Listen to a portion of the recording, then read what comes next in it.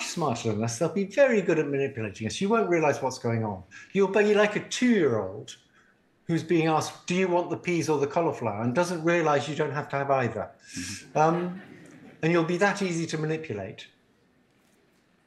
And so, even if they can't directly pull levers, they can certainly get us to pull levers. Mm-hmm. It turns out if you can manipulate people, you can invade a building in Washington without ever going there yourself.